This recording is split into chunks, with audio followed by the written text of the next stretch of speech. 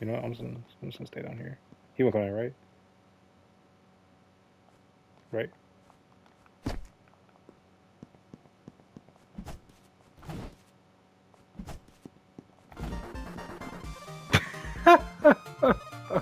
Right?